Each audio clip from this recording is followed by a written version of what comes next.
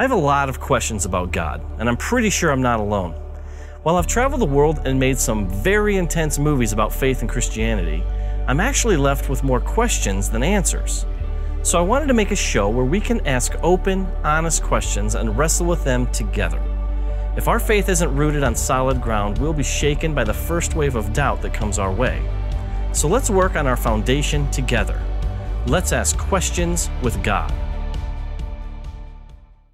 We've got a very special guest with us here uh, today. We have Aunt Patsy of Finger of God fame. Yes. So, um, what was the what was the miracle that that happened to you? God gave us gold teeth. Hold on. Did you hear that?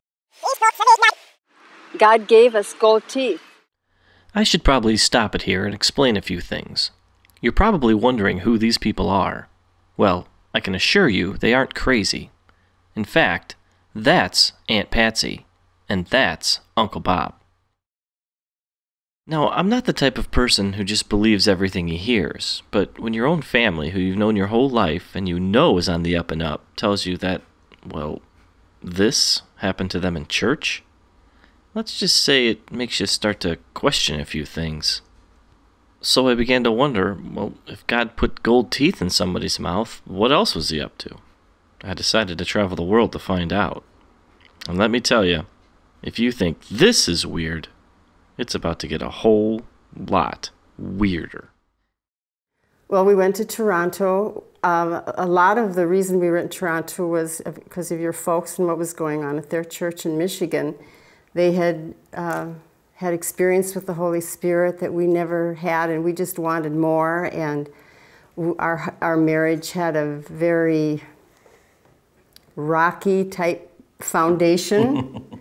and uh, there were times when I didn't particularly want to pursue it anymore. I wanted to give up. I couldn't give up because of God. I just, I, always, I remember telling your mom, who was always the one that I went to uh, with the heartache, was I, I can't give up because I have to prove what God can do. Mm-hmm. I ha- if God can't help us and save our marriage, then what else? What else is there? I have to prove that He's big enough for this.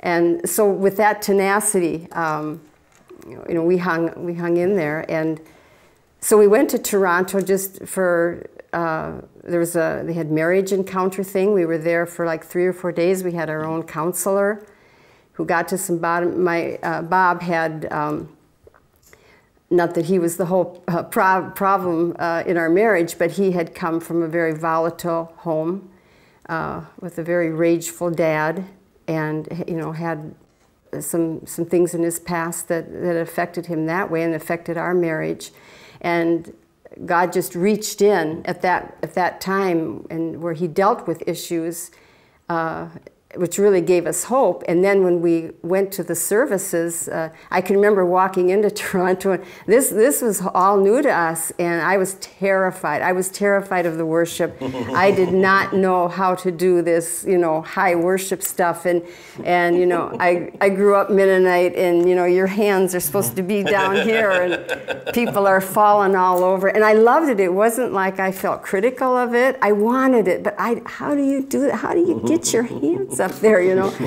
and and and I we, we got there late that very first session, and I can remember um, I was talking to God about it. I said, I really I don't want to be scared anymore, and I felt this. It was like you know you have this little bow, and it was like He pulled the string of the mm. bow, and the bow I was free. Hmm. I was just instantly free, and I wow. all of a sudden worship was fun, and we had fun. So the night that uh, I, I think it was the, it was the last night of that particular conference, and people were getting gold teeth all over. One woman had gotten five gold teeth, wow. and um, you know, it was just this loose cannon atmosphere, you know, everybody going crazy. And we were sitting in a cluster. Yeah, your mom was there, and your sister Danielle was there, and our daughter, and and actually, the highlight of this night for me was our son Bobby was there, and he had been my prodigal son for several years. And just a few months before this, he had come back to Jesus. He had given his heart to the Lord and given up all his drugs and stuff. Well, that's he was here. What more mattered? I mean, here and he. We, we were as we were listening to John Arnott um, interview people about the gold teeth. That he was, they were shining flashlights in their mouths to verify the gold teeth and stuff. I've been a clencher all my life, and uh, I've crushed, actually cracked all my teeth. And then after that girl went up and she got a gold tooth, you, you, you prayed another prayer for gold. And I, I got five gold crowns.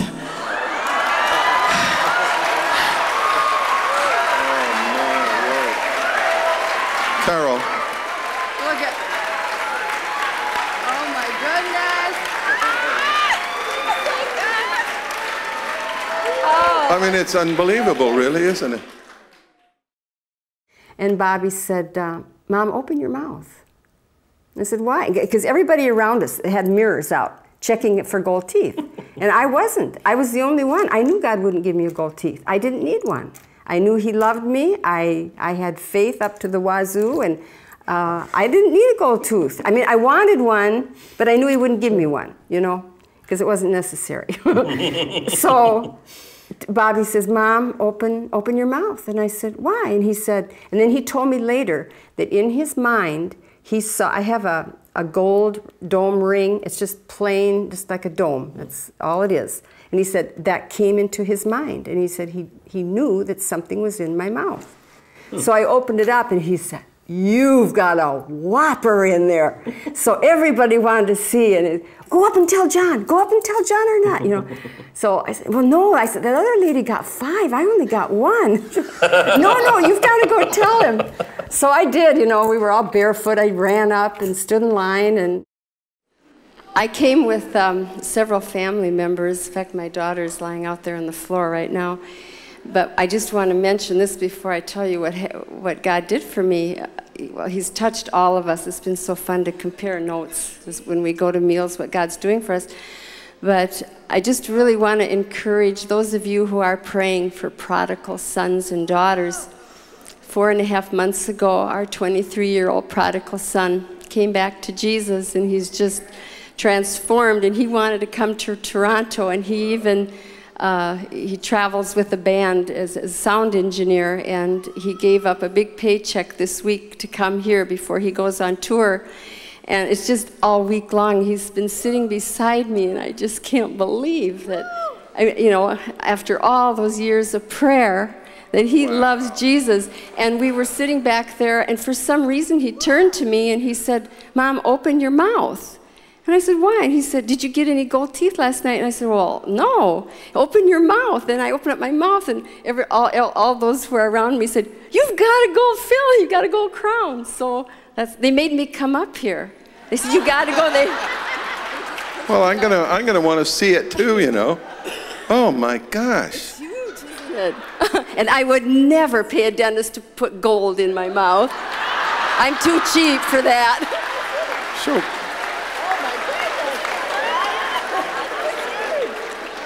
you want to see as well, don't you? Come on in, Jim.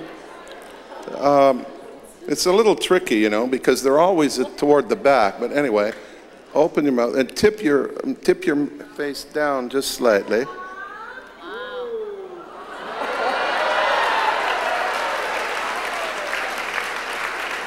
There we are. Where is your son?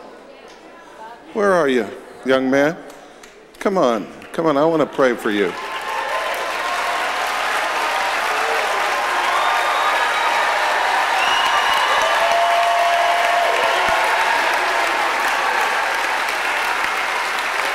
This is great. Hallelujah. You know, sound engineers are in great demand in the body of Christ. You know that? You don't have to put up with that rock music all the time. I mean, they,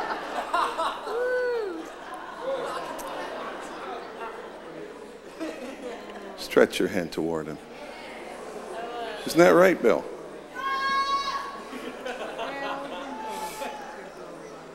Lord, I thank you for what you've done in this young man.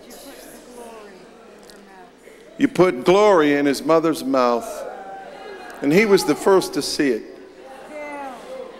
Let your awesome presence come upon him, Lord, and light that, light a fire within him.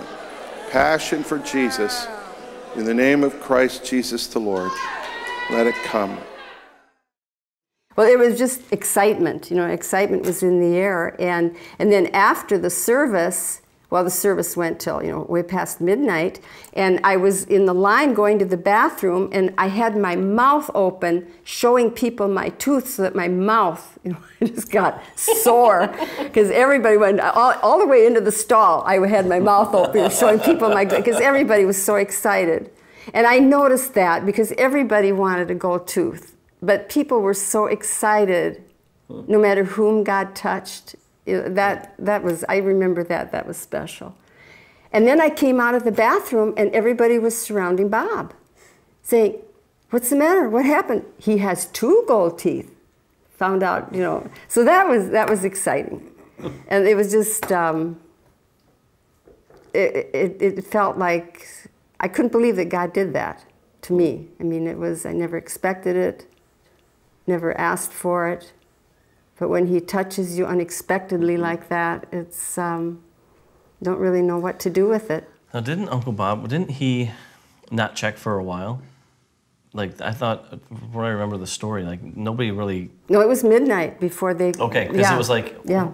And because he was kind of like, well, I'm not going to look in my mouth because yeah, obviously I'm not getting one. Well, it was Doug and Christy. Yeah, it was you know, Doug, were- were there, Doug and- Jones who. Yeah, Doug, Doug, and, and Doug would kept on. Some friends of ours that were there and kept on prodding Bob, and Bob said, "No, no, no. You have to understand, Bob's like your size, right?" And, Oh, yeah, uh, and uh, uh, but eventually somebody looked and he had two big ones in there, and that's going to be significant in this thing down the road. Yeah.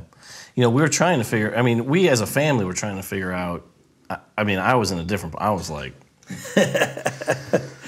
Won't go there. Different but time like, zone. Yeah, I was. Uh, but you know, we're, you guys were trying to figure out why would God, why would God do this? And you, so you actually, it was uh, like a short time later, you felt the Lord ga- Yeah. kind of gave you the Yeah. reason of why this happened for I. I really did, and I was praying, and and and I was asking God in prayer. I said, God, why did you do this? And then God showed me something. See, I know Patsy very well, and I know and my wife. They're they're these are both godly women, and they have walked with the Lord all their lives. And I can't think of anybody that are deeper wells than Patsy and, and Linda in terms of their spiritual life. Uh, but Bob came from a very from a non-Christian background, and he came to the Lord fairly late in life. Um, and when you have a wife that's walking in these kinds of things, you know, you can. Um, and and Bob was an ex-football player. You know, he was a little All-American. You know, was drafted by a bunch of NFL teams. So this is a man's man. But but when it came to spiritual things, Bob always felt very insecure because he had a wife that was very powerful in these things. And so, when as I was praying about this, the first thing God said to me, if I if I remember correctly, was that Patsy has all her life. I'm going to get all teared up about this. Said Patsy has followed me all of her life. I'm just, I just want to bless her. But then he said this to me. He said, Bob has always felt like a second class citizen in the kingdom hmm. because his wife is so strong and he sees himself as being very little in the kingdom of God. And so I wanted to give to Bob, I wanted him to know how important he was to me. So I gave him two. And I thought that was so, then I, and I shared it with Bob, and I don't know why I'm getting emotional, I just do. so I shared that with Bob, and Bob, I know that meant something to Bob because Bob began to realize, oh my gosh, God loves me so much. I mean, why doesn't He give my wife two and just give me one? That's the way it should be because there's this great mm-hmm. insecurity. But no, He gave me two. You know, that's that's like the honored gift that He gave to him. It's just a little tooth, but I mean, hey, listen, you know, there's not that many people walking around with a special gift like that in their mouth from God. You understand? And it just it really did something, I think, for Bob's faith at that point to realize how much God loved him and given him two. And he only, when he only gave the spiritual one in the family one, that said something to him. So I think that was a prophetic word that God was speaking through those teeth. Um, and I really do believe that that not only that, but I think that that was a sign too, because you know, teeth are in relationship with each other. and you know their their their marriage was rocky, you know, and it's had it's had its, its ups and its downs. But you know, I think God was also saying, you know, I want to, I want, I really want to heal this marriage. I, I want to do something with this, and you know, that was kind of the beginning of some of the counseling and some of the breakthroughs for for Bob in this, and and uh, yeah, so I, I think there was more to this picture too. So there's there's many facets to why God would do this. And He is sovereign. God can do what He wants. Yeah. It seems supernatural to us, but it's very natural to God. Yeah. Like another thing too is that, as I mentioned to you before we started, every time you release a film, and now you're doing this, Bob and I, our marriage comes under attack. Hmm. And I feel like even these these weeks getting ready for this, it's been like walking through sludge mm. spiritually to walk through sludge every day having to come before god and say take this away today. Mm. Learning what i knew before and judged other people for not knowing. I've always gotten so impatient with Christian women who worry. I don't want them to worry. you can't worry and trust God at the same time, you know, and that's kind of been my mantra. And I've had that's been challenged all over again. Uh, not that I've become a worrier, but that I've that it's been it's been a temptation. I've had to practice it all over again and, and like learn it in a deeper level. And it's, it's true with anything that we walk with, with God, whatever He teaches, it, there's always a deeper element to it. Yeah, and that's and just so people know, that's why Bob's not here, right? He's like it's physically well, he, under attack. he's yeah, yeah, he's he's sick. Yeah. yeah, he's he's in a lot of pain and um, just can't travel. You know, I'd- I'd love to ask you, you two especially this. When you get touched by God in a way like this, is there a price that you have to pay? Well, this sounds a, like it. This is a fun moment for me, Patsy. I've never told you the story. 2003, I had an encounter with Jesus Christ. Had an open vision as a Baptist. I wrote a book on this. It's called Signs, Wonders, and a Baptist Preacher: How Jesus Flipped My World Upside Down. Five foot 11, 185 pound Jesus with hair down to here, a nine foot angel on one side, a six foot angel on the other walks up to me. The nine foot angel had a sword. From that moment until now, it's cost me everything. And I've never been more excited. The fun moment for uh, today, Patsy, is 2003 when I had my encounter with, with Jesus. I started asking him, I said, I, I want to just experience everything your kingdom offers, no matter what it costs me. And I really meant that. And I was in Atlanta and I said, I ask you to open my eyes to the angelic realm. And I heard loudly, You're not mature enough yet. And I said, Okay. You know, none taken. None taken. and um, So that's why I haven't seen an angel. yeah. and and this is after already seeing blind eyes open. And a couple of years later, when was Finger of God released? 2007, 8. Yep. Okay. A couple of years later, uh, at our church, I started to preach that we need to be open to a God outside of the box, and we just need to really go for it, no matter what it cost us.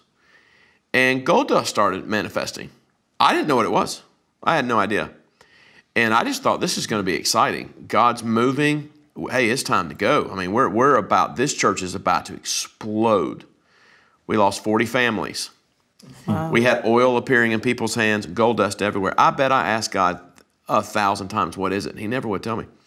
And then I stumbled across this movie from this fellow called Finger of God, and he interviews you. And I found someone of like, okay, well, I'm not crazy. Still didn't know what it was. Mm-hmm. And then he was a bigger skeptic than I was in the movie. I'm like, this guy, he didn't, he didn't know what it is either. And what is all this stuff? From that point till now, when these encounters happen, I have found that very rarely is everyone very happy about this. Um, I was in a meeting not too long ago. Gold dust manifested all over my boots. I looked down. I, I, I just don't make a big deal out of it. The most awkward moment, and this is with witnesses, we had about a 60 foot gold cloud, Wow. glory cloud. I don't know, not in the spirit, in the room, manifest in a nine o'clock service. Not many people were in the room yet, maybe only a couple of hundred people. I asked God what it was. He didn't tell me. The way that I'm wired, I don't have to understand. I'm not obsessed with it. Yeah, I don't have to go get seven prophetic handbooks and people praying all over the country. Here's what I told the church. Let's just keep our eyes on the Father of this thing. Yeah. Let's just let's just stay there. And what we're noticing now, years later, the families that thought we would become a crazy church are realizing that we value the word. We're just open to whatever God wants. And if He wants to give you a gold tooth, then man, I'll Yep. cheer that. In the book of Colossians, they got in trouble because they started chasing angels. What, what we don't want to ever do, at least what I'm leading, I don't ever want to go after the stuff.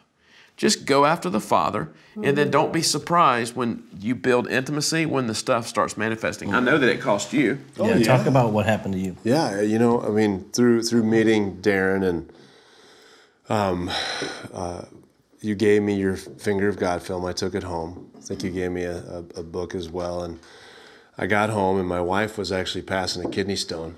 And she's like, uh, "Do we got anything to watch?" And she watched Finger of God.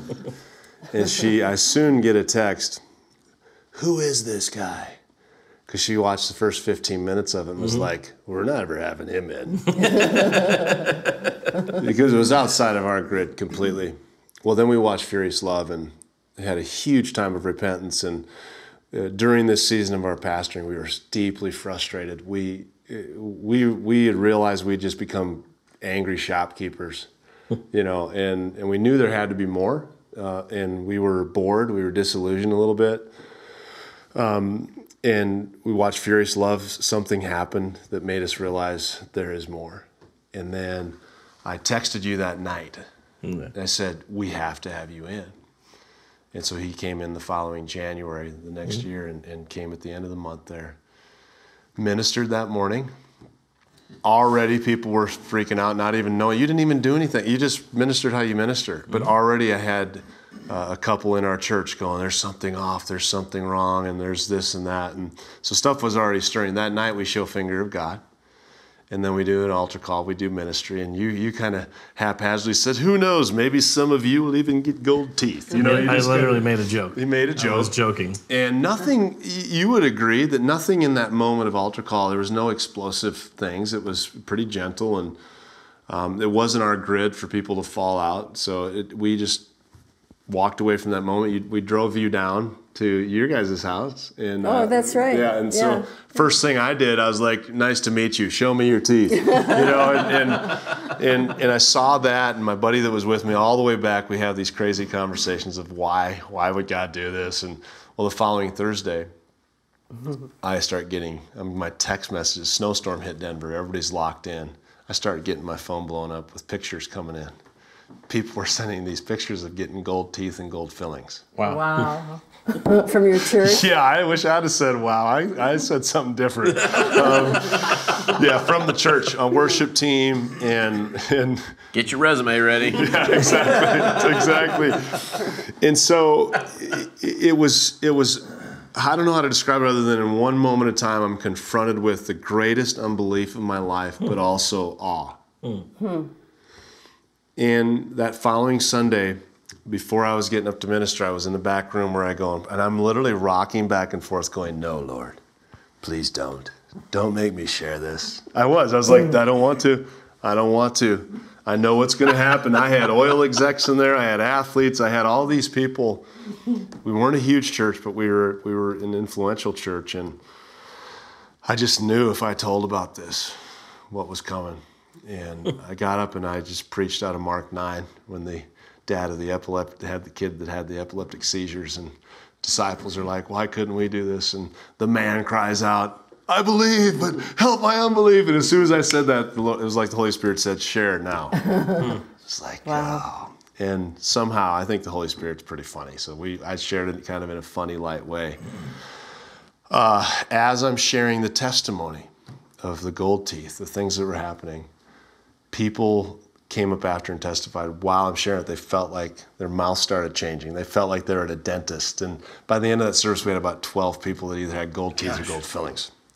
And Out of like how many? uh, maybe 200, you know, and we be suddenly, we went from like, hey, we love Jesus and we're charismatics with seatbelts. That's what I called us, charismatics with seatbelts. Now all of a sudden, God just violently ripped off the seatbelt and hit the eject button, you know, and we're, we became this church. Everybody's looking at each other's mouths, and we're all in awe, and we're all freaked out. And and and it, during that time, it it it it activated something inside of my wife and I, who were these frustrated, burned out pastors, that that made us fall in love with Jesus all over again. We felt so privileged and honored and special, and also not knowing. I think I texted you, called you, like you weren't that helpful. You were like, I don't know, bro, figure it It's out. your, pro- your problem now. Yeah, so you figure it out. I was like, okay, thanks, bro. That's really helpful.